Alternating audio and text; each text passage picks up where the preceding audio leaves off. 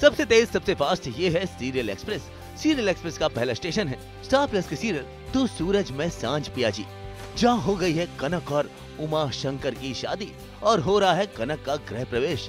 लेकिन इस शादी से कनक है नाखुश। इसीलिए उन्होंने फेंक दिया अपना फ़ोन धधकती आग में, ताकि वो बता सके कि वो इस शादी से जरा भी खुश नहीं। वहीं दूसरी तरफ़ भावो संभाल रही है सूरज की दुकान, कनक मिष्ठान भंडार। और इसी दुकान में भावो ने लगा रखी है सूरज और संध्या की एक पुरानी तस्वीर भी।